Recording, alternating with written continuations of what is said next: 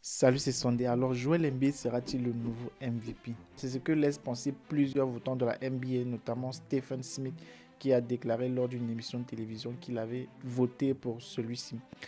Dans tous les cas, il fait partie, selon tous les classements, des favoris, des trois premiers favoris. Bien entendu, les résultats ne seront pas connus avant la fin des finales NBA, c'est-à-dire avant la fin du mois de juin. Ce qui est sûr, c'est qu'il a connu sa meilleure année sportive. Alors, je propose qu'on s'intéresse dans cette nouvelle vidéo à cette success story, comment il en est arrivé là, qu'est-ce qui l'a motivé à atteindre ce niveau de performance? Et je propose ensuite de te donner les secrets de cette réussite phénoménale.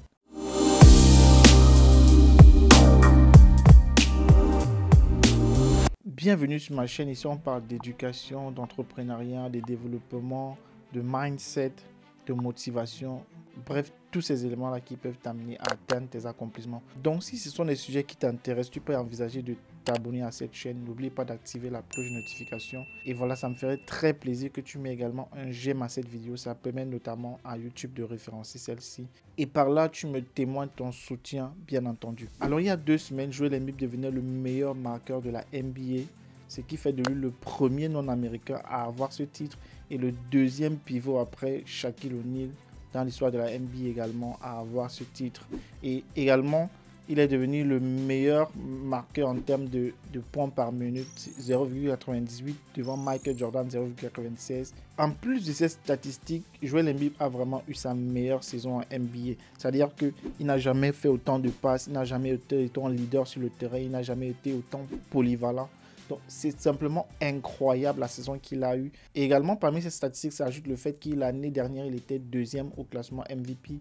Donc, toutes ces statistiques, en fait, le mettent en tête du moins parmi les trois gagnants en ce qui concerne le titre de MVP de la saison. Donc, ce serait presque logique, on va dire, s'il gagnait le titre de MVP.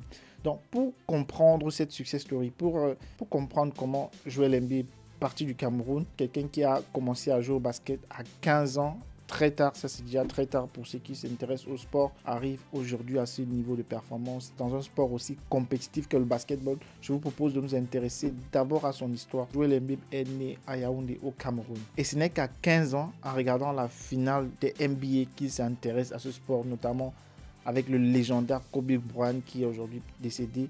Mais c'est l'un des meilleurs basketteurs qui a certainement laissé sa marque dans l'histoire de ce sport. Alors, ce sont des figures comme ça qui ont inspiré Joel Embiid. Il décide donc de s'intéresser à ce sport. Et heureusement pour lui, un autre Camerounais, déjà joueur de la NBA et au Cameroun, pour détecter des talents qui peut éventuellement faire émerger aux États-Unis, les faire aller là-bas et qui sait un jour rejoindre la cour des grands qu'est la NBA. Donc, ce Camerounais-là, il s'appelle Mba Amoute. Alors, Bahamout, c'est un joueur qui est depuis longtemps dans la NBA, qui, a lancé une association au Cameroun qui permet de détecter du talent et les donner une chance un jour de pouvoir rejoindre les États-Unis pour pouvoir, voilà, euh, comme ça, se développer et avoir, qui sait, une carrière professionnelle. Alors, Joël Embiid fait partie de ces gens-là qui ont été rapidement détectés par Luc Mbamouté. Donc, il décide donc de faire le maximum pour que Joël Embiid rejoigne les États-Unis pour comme ça développer son talent et qui faisait déjà partie comme ça au Cameroun des plus talentueux dans ce domaine. Et c'est ainsi qu'il rejoint un an plus tard le Monteverde qui est un collège américain qui lui permettra de se développer dans cette discipline qu'est le basket malgré le fait que son père a eu beaucoup de réticence à laisser son enfant de 16 ans aller aux États-Unis dans un pays là où il n'avait pas de famille, il n'avait pas d'amis, il ne connaissait personne. Donc il est dans un monde totalement différent. Et pour ceux qui ont déjà eu à quitter l'Afrique et venu en Europe, en Occident, ils savent combien ça peut être désorientant quand tu arrives dans un système qui est totalement nouveau pour toi, avec une des mentalités totalement différentes, une manière de vivre totalement différente. Donc, pour lui, c'était un choc en plus à son adolescence. Il doit vivre dans, euh, dans un internat et là encore, c'est encore plus grave. Mais cela, en fait, a cultivé son caractère. Lors de sa première année dans son collège, les choses ne sont vraiment pas bien passées pour Joël parce qu'il se faisait moquer par ses camarades. À part dunker, il ne savait rien faire d'autre. Donc, c'était vraiment difficile pour lui de essuyer autant de moqueries. Il dit qu'il a même failli abandonner à ce moment de sa vie là et qu'un jour en rentrant chez lui comme ça, il était au bout de l'abandon. Mais l'esprit compétitif a pris le dessus Il a donc décidé de taper sur YouTube parce qu'il a dit que s'il voulait apprendre, il fallait apprendre de ceux qui savent moins bien jouer au basket. Donc il a donc tapé sur YouTube tireur blanc pour comme ça apprendre à tirer mieux au basketball. Et c'est ainsi qu'il a continué son apprentissage. Mais malheureusement pour lui, les choses ne se sont pas bien passées. Il a dû quitter ce collège-là pour rejoindre un petit lycée, là où il pouvait notamment espérer avoir plus de temps de jeu pour, voilà, qui sait un jour fouler la cour des grands. Et les choses se sont plutôt bien passées pour lui dans ce lycée-là parce qu'il a fait une plutôt bonne saison où il s'en s'est sorti avec une moyenne de 3 points et 8 rebonds par match, ce qui lui a permis de frapper au regard des organisateurs d'un programme de Kansas. Il a donc pu rejoindre ce programme-là où il a pu finir avec une moyenne de 14 points et 8 rebonds, ce qui était encore beaucoup mieux et qui ouvrait davantage les portes de la NBA. Mais malheureusement pour lui, à cause d'une blessure, il ne peut pas participer à la post-saison. Il est donc comme ça euh, en convalescence et son rêve s'éloigne de plus en plus de lui, si on va dire comme ça entre guillemets. Mais Heureusement pour lui, ses performances ont parlé pour lui parce qu'il se fait quand même sélectionner dans les drafts par le manager Sam Linsky. Et vous imaginez sans doute que pour lui être sélectionné parmi les drafts, c'est déjà un exploit pour lui, d'autant plus qu'il a commencé à jouer au basket à 15 ans. Donc c'est un exploit parce que 5 ans plus tôt, il touchait sa première balle de basket et aujourd'hui il est sélectionné à la NBA dans l'équipe de Philadelphie. C'est incroyable. Mais malheureusement pour lui, il est blessé. Il ne manquera pas un an, mais deux ans de NBA ce qui est pour un sportif de haut niveau vraiment, vraiment pénible parce que quand tu euh, te blesses deux ans pour revenir au niveau, c'est difficile. Et un deuxième coup du destin, il va perdre son petit frère, ce qui fut extrêmement terrible pour lui. Il va dire que il était à deux doigts d'abandonner le basketball et retrouver sa famille au Cameroun parce que c'était vraiment, vraiment, vraiment très difficile à ce moment-là. Tu imagines tout ce par quoi il est passé, euh, la solitude, les difficultés, toute cette chose la frustration de ne pas être bon, les, blessures, tout ça, ça a dû faire naître en lui l'envie de tout abandonner et de rentrer au Cameroun. Et sa mère va même dire que il est allé jusqu'à voir l'entraîneur pour demander son passeport. Je ne sais pas comment ça se passe avec les passeports. Certainement, comme il était à l'internat, il ne gardait pas son passeport, mais c'était vraiment terrible pour lui. Mais dans tout ça, il n'a pas abandonné. Il revient finalement deux ans plus tard sur le terrain de la NBA c'est-à-dire le 26 octobre 2016, après six ans d'attente, six ans de patience, six ans il a fallu euh, croire en ses rêves, six ans il a fallu euh, se donner les moyens d'y arriver. Il est enfin là. Il joue la première saison, il fait une plutôt bonne saison où il finit avec 28 points en moyenne, et 8 rebonds, ce qui est déjà bon malgré son temps de jeu qui n'est pas encore ça. Et il continue à apprendre, il continue à progresser. Notamment, il a une idole dans sa vie, quelqu'un à qui on le compare très souvent, Hakim Olajuwon. Son coach de l'époque au Cameroun l'avait donné des vidéos de ce grand basketteur, cette légende du basket. Et il regarde là pour euh, apprendre les mouvements, pour copier. Parce que l'un des secrets de la réussite, c'est de copier parfois ceux qui performent dans le domaine dans lequel on veut aller c'est pas toujours de venir avec quelque chose de nouveau, non, mais c'est d'apprendre à copier. Plusieurs, même dans le domaine, qui ont émergé, ont toujours copié les gens qui étaient avec avant d'apporter leur touche. Comme ça qu'il a continué de progresser en marge. Mais en 2019, se vient un troisième échec dans sa vie, se fait malheureusement éliminé par les Raptors. Faut dire qu'il n'avait jamais été aussi proche de son rêve, de remporter les championnats de NBA. Il le vit très difficilement, mais on sait tous que dans la vie des champions, il faut toujours se relever des défaites. Et il a bien retenu la leçon, mais il a bien appris la leçon, s'il faut le dire ainsi. Donc il se relève. Et c'est ainsi que aujourd'hui, il a fait sa meilleure saison à NBA. Il a été incroyable. Ils sont qualifiés pour les playoffs. Et voilà, c'est très certainement avec beaucoup plus de, détermination et d'envie qu'il va jouer les playoffs et voilà les finales des NBA. Et qui sait, peut-être qu'il deviendra MVP cette saison. C'est tout ce qu'on le souhaite dans tous les cas. Ce qu'il faut noter ici, c'est cette croissance figurante, cette manière de se hisser au plus haut niveau étant venu de si bas.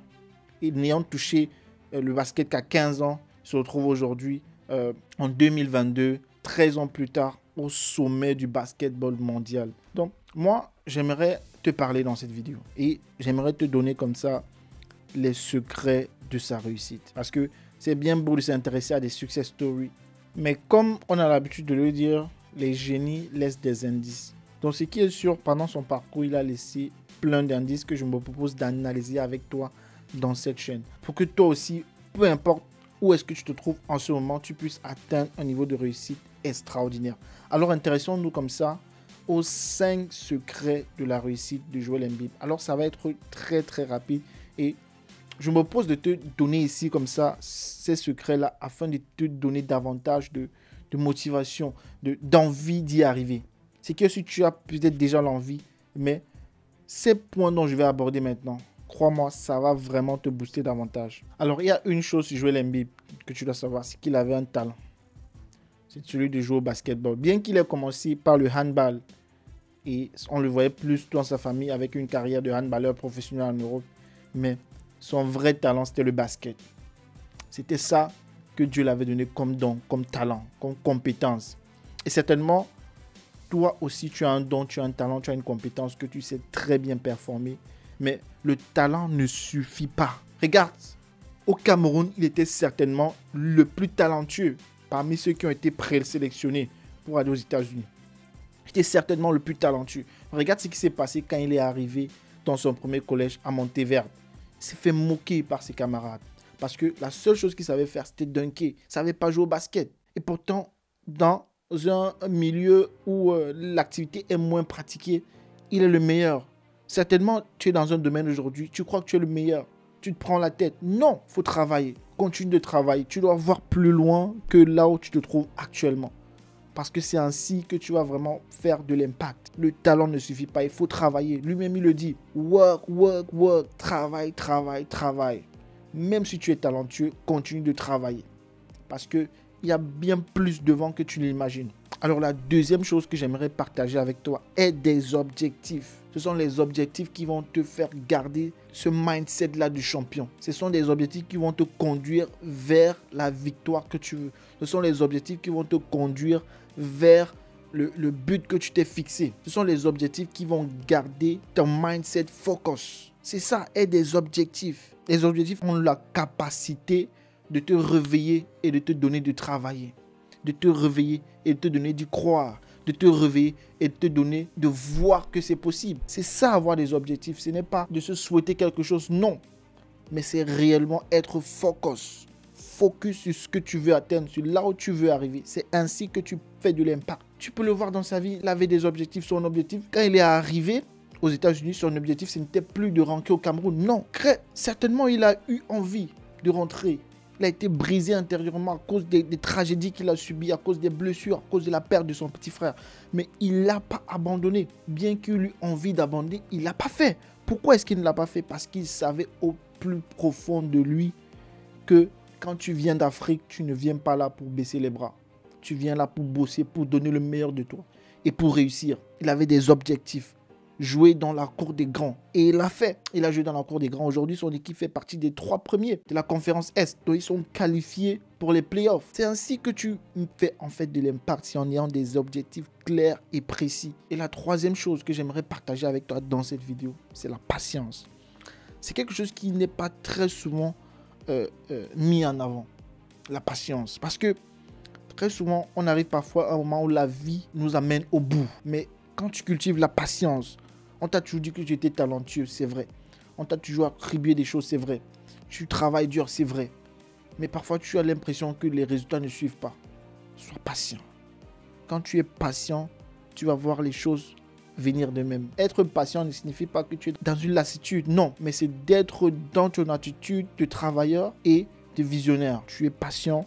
Il a été patient dans sa vie, il a compris le rôle en fait de la patience dans la vie de tout homme comprend le rôle de la patience dans le processus. Elle était choisie dans les drafts, on l'a appelé le processus. Le process, the process en anglais, on l'a appelé le processus. Donc c'est-à-dire que celui qui l'a présélectionné voyait déjà en lui un processus. Donc, et qui parle de processus parle de patience parce que ça signifie quelque chose qui va prendre un peu de temps. Mais en 13 ans, il l'a fait. La quatrième chose que je vais partager avec toi dans cette vidéo.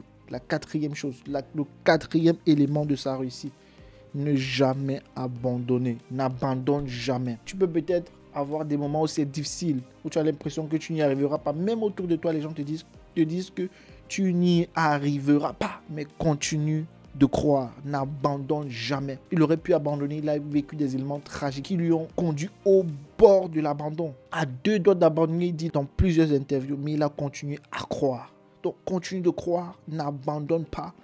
Tu es plus proche ton succès que tu ne l'imagines. Et la dernière chose que j'aimerais partager avec toi, très souvent, quand on a des rêves, on a des envies, on veut atteindre des objectifs, on travaille dur, on, on se donne les moyens d'y arriver. Il nous manque souvent une chose en permanence, d'être reconnaissant le jour le jour. Vous allez voir des gens qui passent une journée où 99% des choses se sont bien passées, mais une seule chose s'est mal passée. Et se focalisent sur la seule chose qui s'est mal passée. Et c'est comme ça qu'ils empirent leur situation. Sois toujours reconnaissant. Peu importe si là où tu te trouves, c'est difficile. Mais si tu es reconnaissant et tu sais que tu as atteint un certain niveau dans ton processus, alors tu verras que ça sera plus facile pour toi d'être conditionné à franchir les marches étape par étape. Et c'est comme ça que tu arriveras. Alors c'était ce que je voulais partager avec toi dans cette vidéo. J'espère que cette vidéo, tu l'as aimée. Je t'invite comme ça à t'abonner, à liker et à la partager. Afin que voilà, tu comme ça inspires davantage des gens autour de toi. Et voilà, on se dit comme ça rendez-vous dans une très prochaine vidéo. Je te souhaite bon courage. Ciao.